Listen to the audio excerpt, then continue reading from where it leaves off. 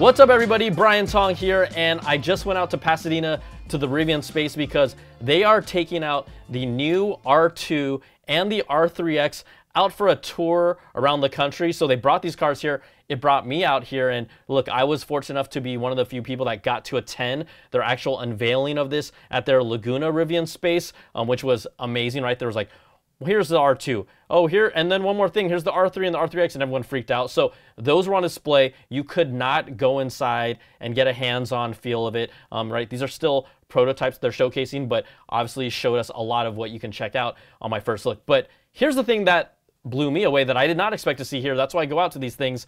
They had the first showing for me of the new Rivian Travel Kitchen. You can see it here. It's resting on that rear uh, trunk door of a new R1S. So we're going to come up to it and you can see here this design is basically a fold out design. Now Rivian wouldn't, they, I asked them, okay, could we fold it up to see how compact it is, what it feels like? They said no. And I'm like, okay, that's all right. So it's completely like a sandwich. It opens up and then there are the kind of the tow hook loops on the back of that trunk.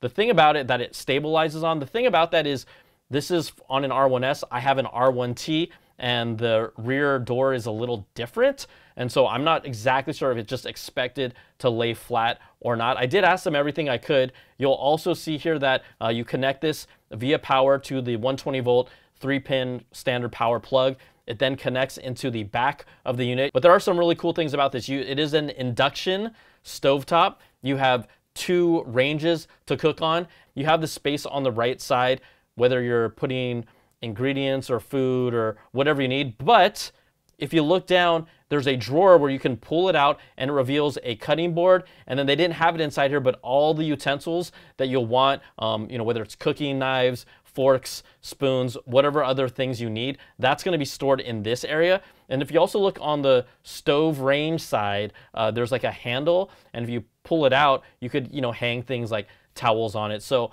it is versatile. Now this does not have the sink. I bought my R1T because I was so excited about this opportunity or chance for them to do that entire Rivian kitchen inside the gear tunnel. The drawer that that is there doesn't look like it's going to be able to hold that many dishes. It's really more for utensils versus when they showcased like every they went 100 with that Rivian gear tunnel kitchen, but this is different. This is their new travel kitchen. The gear tunnel kitchen basically from all indications does not exist anymore, but this still is a solution and this is still something that I want to get to add on to my Rivian setup so that it makes camping and makes going out and preparing food a lot more easier, a lot more fun. But, you know, over time now, I've really used the gear tunnel for storage and I think it has more functionality and by bringing this new iteration of this Rivian travel kitchen that's able to rest on the back of an R1S, an R1T, I'm assuming, also compatible with R2 series cars coming in the future and R3 series come in the future.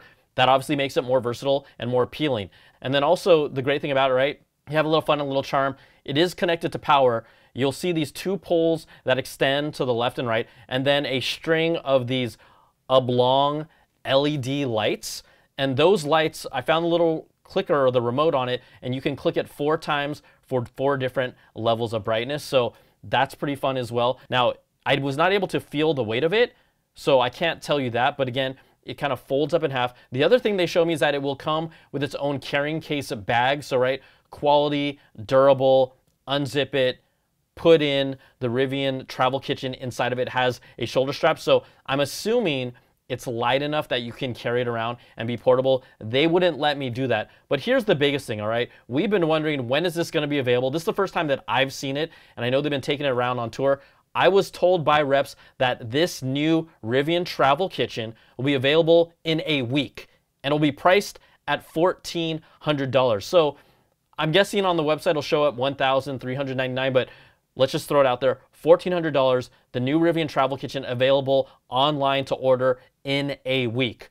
I tried to ask as much information as I could about this, but um, that's all I got. It's great to see it, to feel it. It feels like the quality that you expect, and it was great to see in person. So there you go. There is a first look at the new Rivian Travel Kitchen. I'm touching it. It's right here, and guess what? It's going to be coming to you really soon. It'll be available to order next week, $1,400. And the beauty of it, again, compatible with the R1 series, the incoming R2 series, R3 in the future, right? Connects to the back. You got the lights. You got the bag. This is going to be sweet, and uh, I can't wait to get my hands on it. So enjoy. Hope you enjoyed that first look at the new Rivian Travel Kitchen.